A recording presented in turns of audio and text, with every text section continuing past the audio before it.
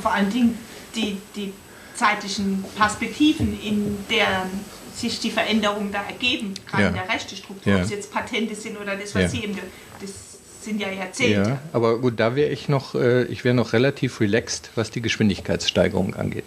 Ich habe bei diesem Gehirn da oben relativ wenig Probleme mit Schnelligkeit. Halt Komplexität. Ich habe das Problem mit Komplexität und das müssen wir schon unterscheiden. Also die Geschwindigkeit der Änderung ist nicht das Problem, sondern die Komplexität der auf mich wirkenden Impulse und, und das ist noch viel schlimmer, die Reichweite meiner Wirkung. Wenn ich heute etwas tue in einem hochvernetzten System, dann geht das irgendwo rein. Und ich meine, jeder, der im Internet arbeitet, manchmal kann man ja sagen, da ist doch gerade dieser Typ oder die, die Leute in Australien, die hingegangen sind und jemandem angeboten haben im Barrier Reef äh, für sechs Monate da umsonst.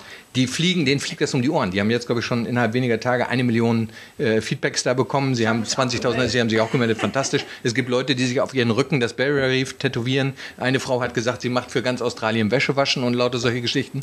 Das heißt, da sitzt jetzt wieder so ein armer Marketingmensch, der das Netzwerk angetriggert hat, durch irgendeinen besoffenen Punkt einen Resonanzpunkt gefunden hat. Und jetzt sagt er, um Gottes Willen, könnt ihr mir das mal wegnehmen? Weil äh, ich bin hier so wie dieser Rentner damals, der sagt, ich habe ein bisschen geblockt oder habe ein bisschen was auf YouTube getan und jetzt will ich das Zeug wieder loswerden, weil ich kann damit nicht umgehen. Also Netze sind nicht ganz ungefährlich ne, in ihren Wirkungen.